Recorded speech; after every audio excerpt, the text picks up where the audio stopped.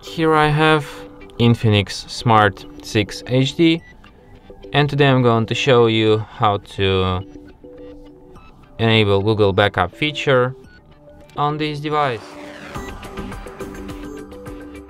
So firstly you have to open settings then go to the system section then go to the backup tap add account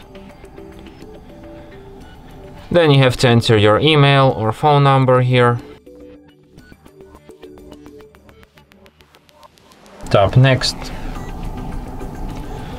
then you have to enter your password tap next then you have to select if you will be using this device or if your child will be using it. Accept Google's terms of service and privacy policy.